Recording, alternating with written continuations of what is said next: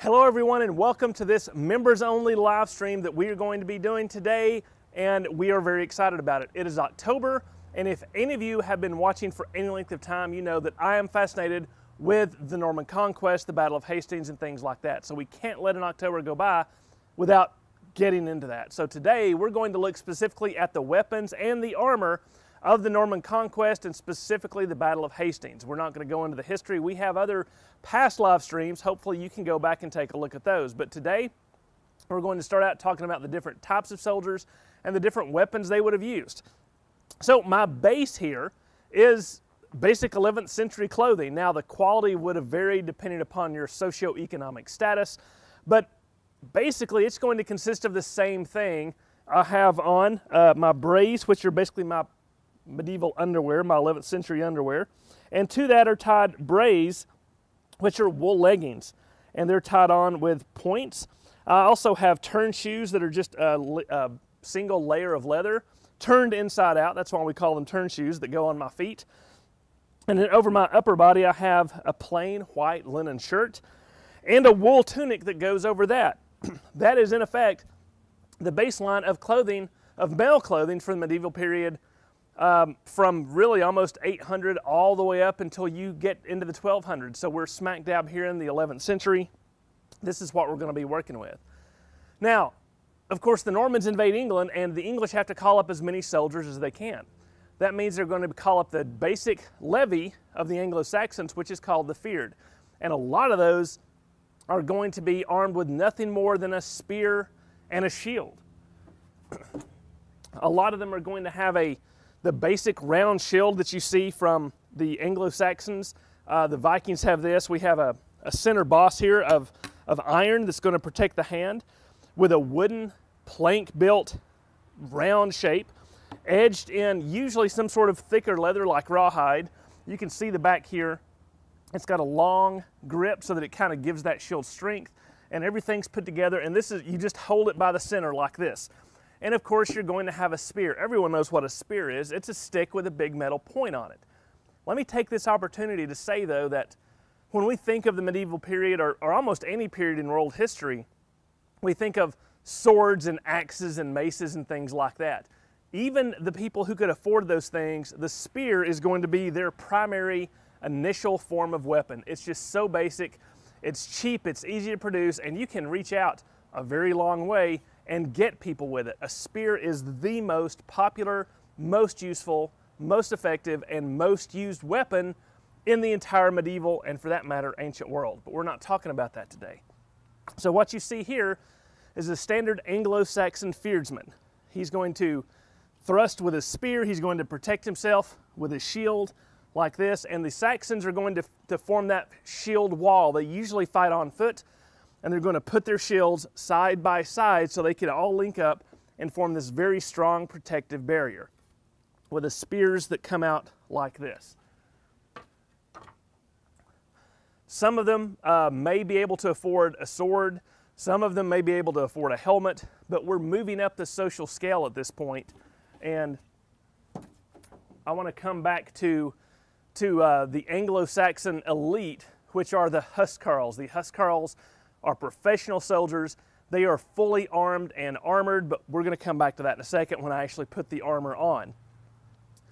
The Normans, when they come over, have a much more professional army. They're not having to call up the levies, what we would today call the militia. They're hiring and bringing in sort of professional soldiers. So you're not going to have just a shield and spearmen. You're going to have people who come with uh, spears and shields, but they're going to have padded armor, uh, perhaps mail, they're going to have uh, some axes, they're going to have swords for the infantry. But the Normans bring something that the Anglo Saxons don't have a lot of. They're going to bring archers. They're going to bring a lot of archers. Of course, the bow, this is not the long bow that we think of from the Hundred Years' War, where the draw weights of the bows could get up to 80, 90, or 100 pounds. That's not yet. These bows are going to be somewhere between 40 and 50 pound draw. Uh, they're not going to be something that it takes a lifetime of work to do, but they're still going to be something that you can pull and use. Now, the arrowheads are going to be a variety of different types. Um, some people might even bring these. This is sort of something you think of when you think of a medieval arrowhead, but this is not something used for war. This is used for hunting. Uh, and you can tell it's used for hunting because of the very broad blade. It's made to basically cut into flesh and slice and cause a lot of blood loss. And you can tell also that this is meant to be reused. I don't know if you can see that, but it has a little rivet holding the arrowhead onto the actual shaft of the arrow. So what that means is they intend to use this over and over. So we're not going to necessarily go to war with that. Much more common in warfare are a couple of other different types. You see this, it's similar to that, but it's a little more uh, solid and it's a little more meant to, to bite into flesh. Right, that's going to go in and those barbs are going to make it very difficult to pull out. That's meant for horses, that's meant for going into unarmored flesh, and it can be relatively effective. So we also have a couple of more common types. This is a much more common type. You see that one doesn't have the barbs, it's more pointed. And something like this is meant to penetrate as deep as it can and to perhaps pierce armor if it has enough power behind it. Um, similar to that, you're going to have what comes to be called a bodkin point. You can see how this is a very acute point and it is sort of quadrilateral it's, it's, and it's hammered down into a very specific shape which is meant to burst those round mail rings. Again, we'll show you those in a second. But this type of arrow uh, can penetrate, but it's not going to cause a lot of blood loss. But the idea is to have this get through the armor.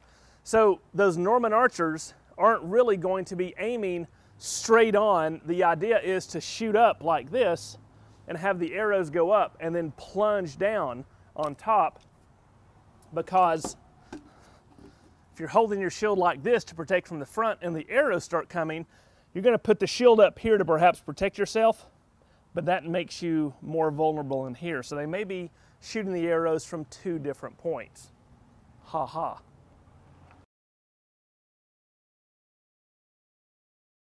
Now, the Normans are, um, we tend to think of the Normans as having a different shield. This is the more old fashioned, like I said, Viking round. It's meant to fight on foot. It's very effective. You can use it like this and come in this way. But not everyone had these. Even the Anglo-Saxons, based on our best source, the Bayeux Tapestry, a lot of mounted, excuse me, a lot of Anglo-Saxons that fought on foot would use a shield that had begun to develop in the 10th century and came on up that what we call a teardrop or a kite shield. You can see it's sort of round at the top, but it comes down and elongates into this point. This does a couple of different things. When you're holding this, you can see it covers more of my body, right? Um, it protects my legs. Legs are some of the most vulnerable points when you're fighting hand to hand, so it can protect the legs. So this can be an effective tool for using on foot. We'll get to how it can also be a very, very effective tool for mounted soldiers as well. Now it's time to put the armor on. We're at the point where we need to start thinking about those professional soldiers, whether they come from Normandy or whether they come from England, those Huscarls, and I'm going to get armored up. There's a lot of debate on exactly what they wore underneath the mail armor in the 11th century. The problem is, we honestly don't know for that time period, we don't have any sources or any illustrations that give a good indication of what they wore under mail. We even know what ancient Romans wore under their armor. We know what the medieval knights wore under their armor later on, but for the 11th century, we don't know. For the purposes of this conversation, I'm going to share one of my pet theories, which is that often they would wear simply a thicker, reinforced woolen tunic underneath the armor. The problem with padding is it can help protect you more with the mail, but it also begins to bulk you up and makes it a little more difficult to move. It also makes it a lot hotter to wear.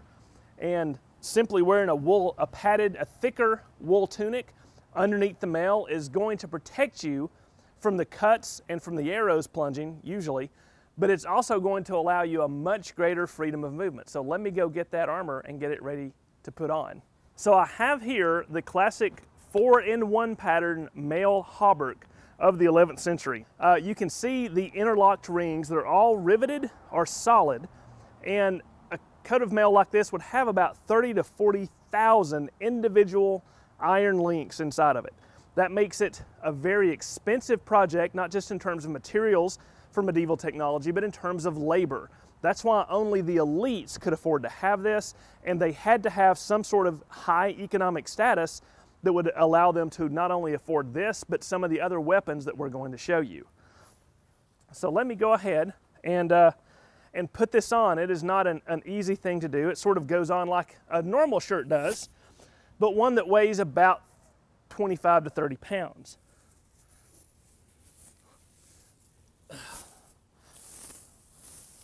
Get my arms through first. I don't know what this is going to do to the microphone.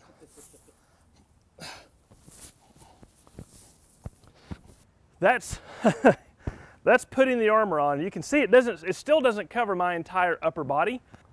So the hauberk I have on is specifically meant for a Norman on horseback. The Normans are going to bring over a very strong force. About a third of the army is going to be mounted, and that's going to be their most important weapon, which we don't have with us today, unfortunately, is a horse.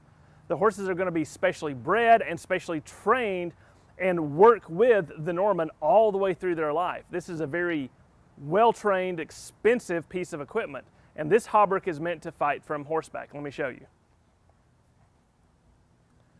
As I'm sitting, the mail sort of covers my leg here on the outside, but it's split in the front and it allows the horse and the saddle and everything to sort of be here unimpeded by the armor. So let me see if we can't do a little bit more with the armor and put on some more of the equipment.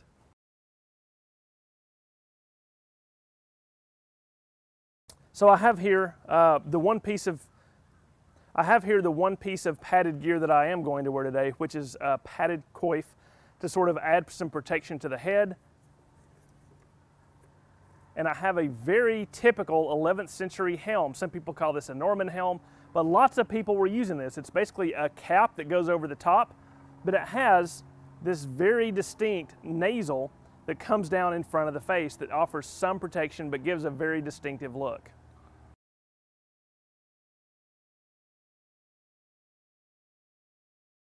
So having put the helmet on, having put the, the cap on, I'm starting to approach what we think of as a Norman knight, the way he's going to look.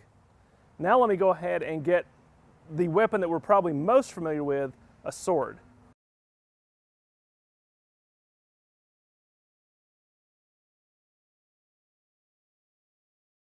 So what I've just done is attach the sword to my person. So I have the sword. I don't always have to have it in my hand, but I can carry it around whether I'm on foot or on horseback. Now this sword, it's been blunted because this is the one I use to attack my friends when we're playing medieval warfare uh, but it would normally come to a point. We have a crossguard here that goes all the way across the hand that protects the hand both from blades coming down my blade and from smashing into the shields as I attack. It has a pommel called a, a Brazil nut pommel that helps to keep my hand in place and it sort of counterbalances the weight of the blade as I swing it. So this sword is a very effective weapon especially against an unarmored opponent. It doesn't do a lot against armor itself, but what it does is maybe I can get in between the places where the armor isn't. You can see on myself, if someone were to attack my neck, if someone were to attack my arms or my legs, that could be an effective tactic. Now you can see this assemblage of straps on the back of the shield looks kind of gangly, and there's a lot to it, but there's a reason for that. And this is based on the Bayeux Tapestry again. You can see in on different shields in the tapestry, there are different ways of holding it, which leads me to believe that anyone who has their own shield is going to pick the method they like best and make that the way that they have their shield rigged up, just like soldiers today do with the way they carry their weapons. It's all going to be personal preference. So now I have this shield, I have my armor on, I have my helmet protecting me, and you can see I've got kind of a, a good defensive area. And those Norman soldiers on foot, this is how they're going to look. Again, they're going to use a spear as their main weapon. They're going to have a shield to protect themselves. They're going to be carrying a sword so that they can fall back to that if they lose their spear or it breaks or it gets stuck in an opponent and it's too hard to pull out. But this is how the Norman infantry are going to appear. Now the Norman elites are of course are going to have more money than the foot soldiers, so they're going to have more equipment and more protective equipment. What I have here is a mail coif that I'm going to put on my head so that you can see how the very top Normans would be armoring themselves.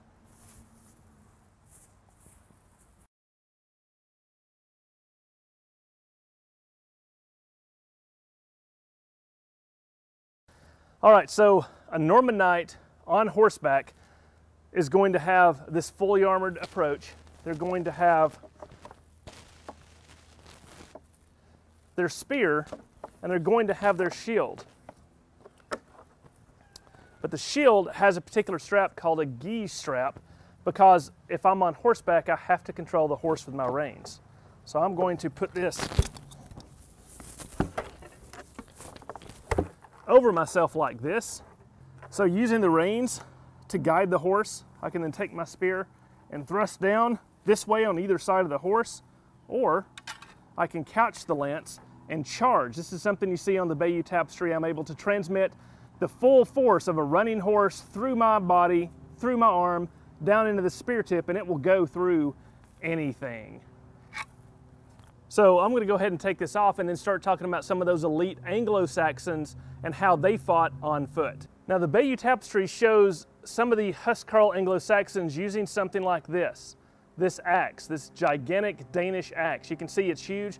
The Bayeux Tapestry actually shows this capable of cutting the head off of an entire horse. This will go through any armor, through any helmet when properly wielded. The problem is it takes two hands to do it, and as you'll notice, that means I cannot use a shield. So as a result, when I'm, I'm going to need I'm going to need someone who's standing next to me to actually have their shield ready to protect me. I may step out of the shield wall, swing my axe, kill a couple of Normans, and sink back in. So this Danish axe was an incredibly effective weapon, popular amongst the elite Anglo-Saxons, and actually after the Norman conquest, the Normans sort of picked this up as well because they realized it is an absolute brutal weapon. So that in a nutshell is the weapons, the armor, and some of the fighting equipment of the Normans and the Anglo-Saxons at the Battle of Hastings and during the Norman conquest. It's fascinating stuff. We hope it's given you a little bit of interest in going out, finding out more about the events, the weapons, and the armor. There's lots of great resources, but the one I would recommend is a primary source. Go look up the Bayeux Tapestry online. Several places have it. You can look at it in its entirety and you will see everything we've talked about today in use as illustrated in the original 11th century. Thanks so much for joining us. It's members like you that make these programs possible. Happy Battle of Hastings Day, happy October, and until we see you again at the History Center or online, stay safe and take care.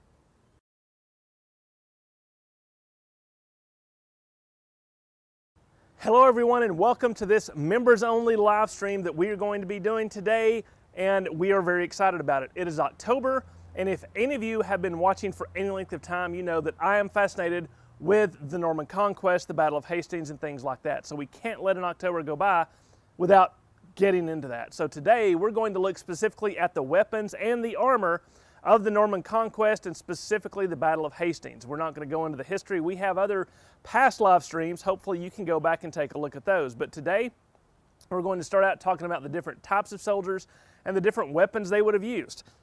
So my base here is basic 11th century clothing. Now the quality would have varied depending upon your socioeconomic status, but basically it's going to consist of the same thing. I have on uh, my braies, which are basically my medieval underwear, my 11th century underwear, and to that are tied brays, which are wool leggings, and they're tied on with points. I also have turn shoes that are just uh, uh,